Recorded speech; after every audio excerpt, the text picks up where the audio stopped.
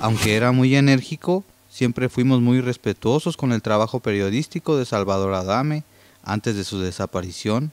Así lo aseguró el presidente municipal de Mújica, Salvador Ruiz. Salvador Adame es muy enérgico con nosotros, pero nosotros siempre fuimos bien pacientes. Eh, este, yo tengo en mi celular mensajes de cómo nos tratábamos con él.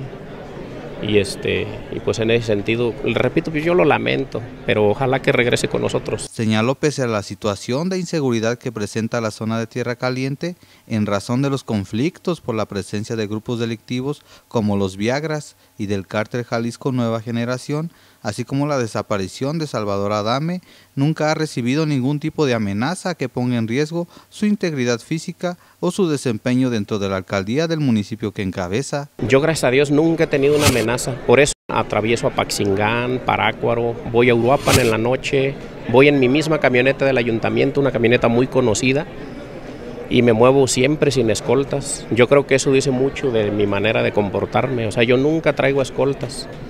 Hoy mismo aquí no traigo ninguna escolta, ni traigo camioneta blindada, ni nada.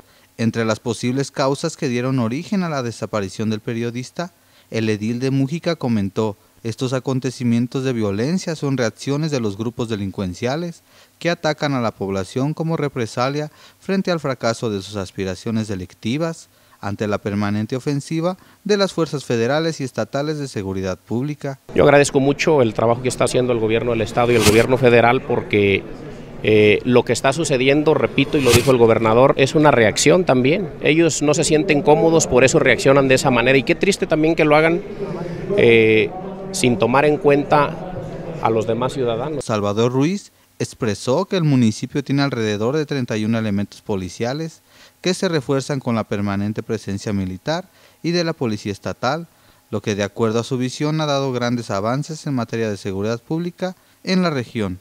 Con imágenes de Juan Errejón, Ricardo Esquivel Villalba. Noti Video.